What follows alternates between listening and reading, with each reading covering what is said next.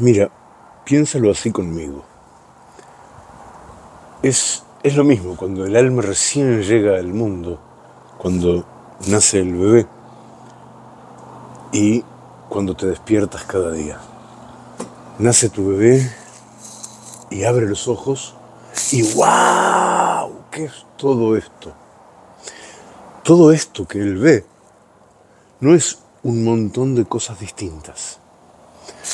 Es un único caos incomprensible, inabarcable. Hay que llorar. Hay que, hay que buscar un lugar cercano y seguro en el que anclar. Por ejemplo, la teta de mamá. Y ahí se está seguro. Y todo lo demás es quite incomprensible y aterrorizador. Recién después se abre la capacidad de análisis, la capacidad de entendimiento. Y entonces tu bebé reconoce un tono de voz, reconoce una sonrisa, un color le produce tal sensación, en tanto otro color le produce otra.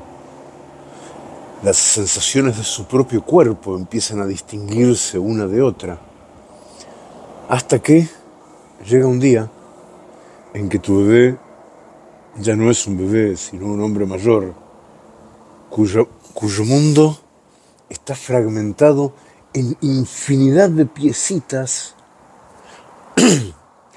que hay que aprender, que hay que aprender a conectar de nuevo.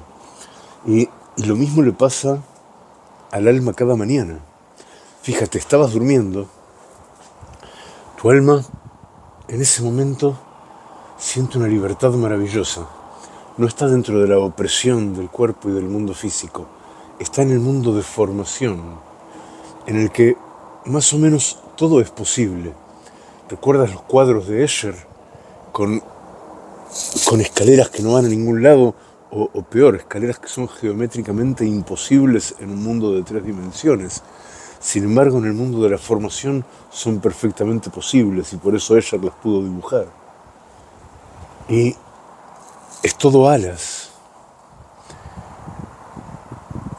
Y antes de volver, porque tú tienes que despertarte en algún momento. Si dicen nuestros sabios que el sueño es uno sobre 60, la sexagésima parte de la muerte, entonces el despertar de cada mañana debe ser uno sobre 60, la sexagésima parte del nacimiento. Y el tono es el mismo. El alma viene toda contenta en puro espíritu unitivo y retorna al cuerpo a hacerlo vivir y entonces te despiertas y miras para todos lados y dices, wow, todo esto. El alma se sorprende cada día otra vez más. ¿Quién precisa toda esta complejidad, esta masa increíble de cosas así? mete miedo. Entonces hay que preparar las herramientas. Te levantas y cuando lavas tus manos bendices una brajá que está mal traducida en todo Sidur traducido básicamente que hay en el mundo. Y está mal entendida en general por los mismos que traducen mal. La brajá del lavado de manos, pero lo que pasa es que no hay ninguna brajá del lavado de manos. La brajá dice que bendecimos al Netilat Yadayim, que quiere decir que yo elevo mis manos y bendigo por la toma de manos. Bendigo que del mundo de formación me dieron manos hoy también que se invistan de las manos de mi cuerpo porque las manos de mi cuerpo no servirían de nada si no estuvieran investidas en ellas las manos del alma. Y entonces bendigo la brajá a Sheriatzar, y ahí estoy, estoy en la malhut del mundo de formación. Todavía ni siquiera vengo al mundo de la acción, pero entiendo los cables entre cómo Hashem me formó y las formas que soy que van a tener que ser compatibles con las de mi mundo. Establezco una línea de salud, una línea de relación entre todas las partes que me componen, entre todo lo que soy. Y entonces, ahí, ahí estoy, dijimos, en Malhut del mundo de formación. Ahí es cuando irrumpo por primera vez, despierto, y todavía con mente completamente unitiva, analógica. Hay un todo, irrumpo en el mundo de la acción, en la sefirá de Keter. Digo, Elohai, y le hablo a Hashem del alma que me dio, del alma que me dio en general y del alma que me dio ahora mismo. Y digo que yo sé hasta qué punto está todo sometido solamente al arbitrio y el control de Hashem. Y cuando estamos en la esfera de Keter allá arriba, es todo, todo se ve como mazal, como suerte. Y entonces doy un paso más. Y cuando llego a la sefirá de Jochma, me estoy despertando, ¿eh? apenas me estoy despertando. Todavía no me hice el café. Cuando llego a la sefirá de Jochma, de la sabiduría, digo allí tres brajot, que son las brajot de la Torah, tres bendiciones. La bendición porque Hashem me ordenó ocuparme de Torah, la bendición por el privilegio de aprender Torah y crecer en sabiduría, y la bendición porque es Hashem el que me enseña.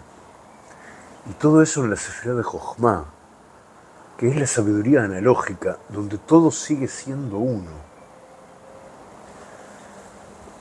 Y ahí voy a tener que pasar información a la esfera de Binah, al entendimiento analítico, para el que también voy a tener una braja.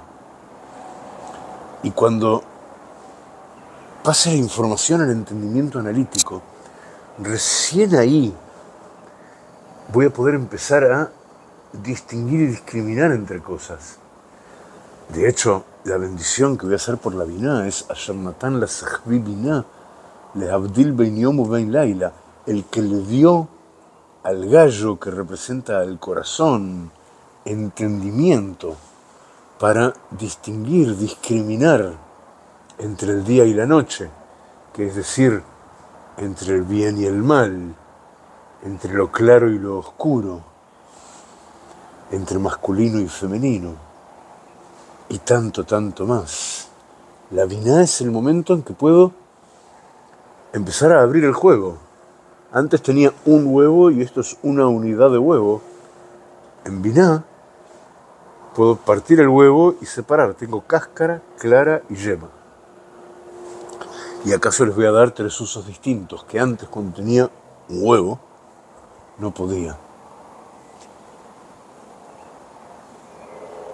Hay un experimento muy interesante que, que siempre, siempre me sorprende y advierto, también me agota, pero vale la pena intentarlo. Si yo bendigo todas estas primeras bendiciones, incluidas las de la Torá, con conciencia entera, tengo que estar perfectamente presente en lo que estoy diciendo, tengo que estar pensando lo mismo que estoy diciendo, tengo que estar diciéndolo en un idioma que entiendo, y no repitiéndolo de memoria, sino con conciencia plena. Si yo hago eso, cuando termino con las bendiciones de la Torá, y digo la bendición de los Koanim, de los sacerdotes, adentro de la bendición de la Torá, en ese momento estoy, estoy en una suerte de limbo sagrado que habitualmente cruzamos a las corridas y que está bueno conocer y aunque sea apenas atrevernos a disfrutar. Mira, todavía en ese momento no has conectado Binah, no has conectado el entendimiento. Tú solo tienes un mundo ante ti. Y eso es lo que hay que aceptar. Eso es lo que hay que acoger. Eso es lo que hay que dar por existente en Jochma y tratar de entenderle sentido al todo esto en su conjunto. No a las hojas verde claro de esta parra, por un lado, y a la espuma en las olas del mar que veo allá, por otro, y así. No, al todo, que incluye hojas de parra, espuma de mar, libros, hijos, aire acondicionado, el sabor amargo del café, todo es uno.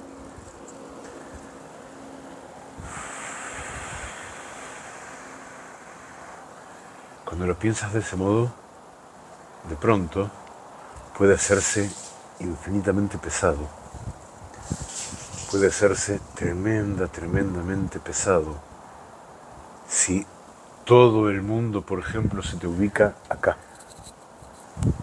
Y entonces te consigues una hernia disco lumbar. Puede ser infinitamente pesado si es una mole tremenda la tienes acá y te inutiliza. Pero puede ser algo distinto. Puedo imaginarlo, este mundo que es uno e incluye todo. Y yo quiero que me incluya también a mí, porque si ese mundo es una única unidad, e incluye a todo menos yo, entonces yo soy el más patético y desgraciado de los mortales. Así que puedo imaginarme, ahora que todavía tengo solamente Jochma, que todo, todo el mundo, menos yo, es una única cosa inmensa y tornasolada Puedo imaginarme vistiéndome de ese mundo. Como si fuera una gran masa de gelatina, que yo sencillamente avanzo hacia ella, se tensa, se tensa y plop. Ahora soy yo. Como cuando, ¿recordás? Como cuando al final creo de la primera Matrix, Neo se zambulle en Smith y desde adentro de Smith hace ¡ay! saca luz y Smith explota. Bueno, pero sin explotar. Ingreso en ese mundo.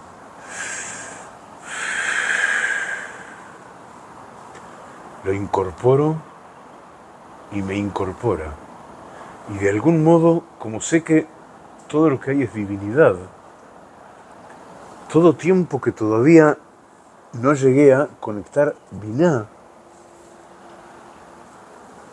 el mundo es uno y lo divino es uno y el mundo es lo divino y lo divino es el mundo. Y yo estoy completamente protegido, vestido de prendas de lo divino. Después de eso,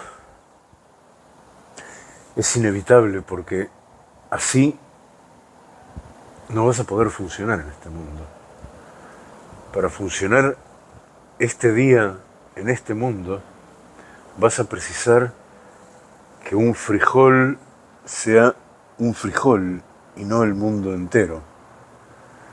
Que una botella de agua sea una botella de agua que se distingue perfectamente de una plancha y de una docena de huevos son cosas diferentes que adquieren, adquieren valor particular, más particular cada vez, cuanto más analizo y comprendo con la fuerza que me da Biná.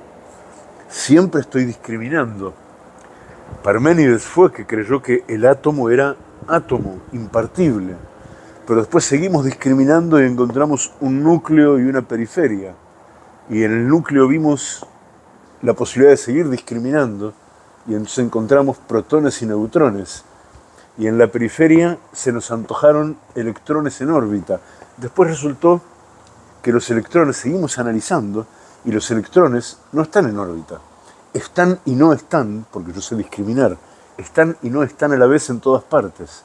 Y los protones tampoco son átomos y los neutrones menos todavía, pues siguen siendo partibles y siguen siendo discriminables las partes que hay adentro. En este juego infinito de representaciones fractales que Hashem ha creado en su creación.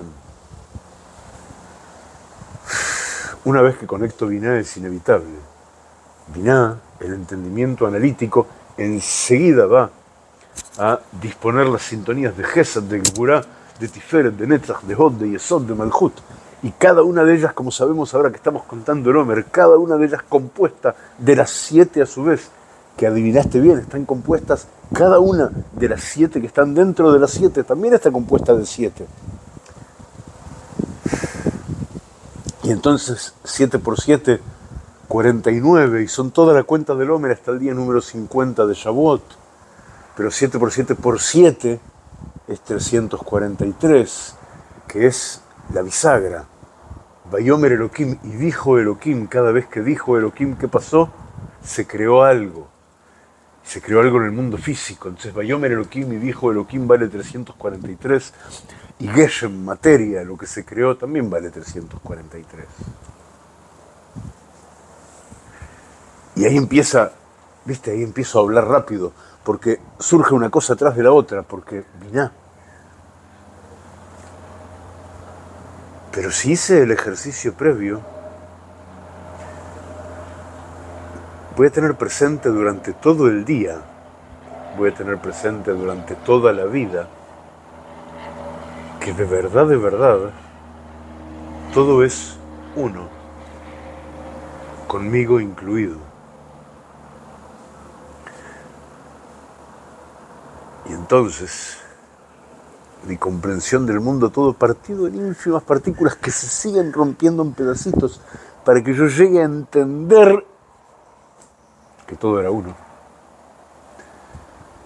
va a pasar mucho más tranquilo y sin angustia, porque yo estoy en armonía perfecta, armonía de Sabiel, en unidad con mi Dios y con todo, y el resto es el entendimiento necesario para construir con herramientas de este mundo lo que adentro íntimamente ya no puede dejar de ser claro. Llevo semanas trabajando en un libro que todavía no tiene nombre, pero que se basa en estas bendiciones, en el total de 22. ¿Entendiste bien? Y todo lo que estás imaginando que se asocia a ese 22 es verdad. 22 bendiciones con que los últimos profetas del Tanaj y los sabios antiguos, los primeros Hasidim, nos legaron esas 22 bendiciones para conectar el día, para conectar cuerpo y alma al día nuevo. Y y es muy genial todo eso. Y estoy escribiendo para nosotros un libro que explica y que acompaña ese tránsito desde la experiencia subjetiva, desde lo vivencial, desde lo que nos dicen las palabras a nosotros mismos. Espero que te va a hacer de bien. Entre tanto puedes sumar tu consagración a ese libro te dejo el link aquí abajo. Tu consagración lo que hace es permitirme con un poco de dinero sentarme de modo lícito y legítimo a escribir, porque no me tienes a cubierto. Y entonces el libro puede escribirse cómodamente. Una vez que esté pronto, por supuesto, va a incluir tu consagración con tu tefilá y mi tefilá va a incluir tu tefilá también. Y por supuesto vas a recibir el ebook, ni bien esté pronto. Consagraciones están en Jojma todavía. Después, tratar de vender el libro y hacer campañas y hacer más videos y esto y aquello para que llegue a manos de alguien Eso es Biná y es agotador. Así que desde Jojma, consagrémonos juntos ahora. Te dejo los links acá abajo y la sensación esa en el puente entre Jojma y Biná, la delicia del uno. Seguimos trabajando y estudiando juntos, amigos. Shalom, shalom.